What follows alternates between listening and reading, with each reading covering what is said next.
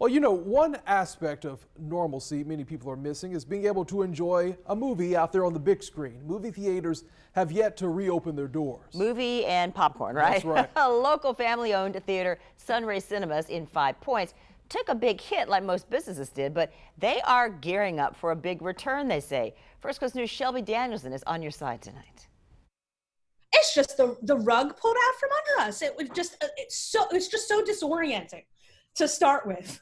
Um, you know, we built this from absolutely nada nothing. The owners of Sun-Ray Cinema were forced to close their doors on March 15th. We're coming into here in the, the first quarter of, of 2020 and then whew, like a giant pause button.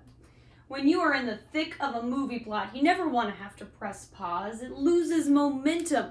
That's practically what happened to Shana David Massett and her husband Tim to the theater they own in Five Points when COVID 19 hit what really is our bread and butter and the bread and butter of every other movie theater in the city of Jacksonville is um, big, huge releases, and there ain't any. But there is light at the end of the movie reel, even if there are still capacity restrictions. Right now, it would have to be 50%. Things change. So the first movie on our, doc, on our docket that we're looking at, July 17th, is Tenet, this big Christopher Nolan must be seen on the big screen. Um, huge piece. Until then, they created pop-up drive-in movies for the end of May which all sold out almost immediately. And they're renting out their theaters to private groups of 15 or less to a movie of your choice. While times have been tough, they had to let the majority of their employees go these last couple of months.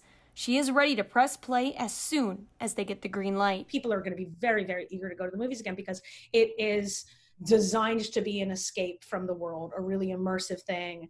And with us, it's with pickle chips and milkshakes and every kind of delicious food option for everybody. So I, I think it's um, it's going to be nice to see everybody together again.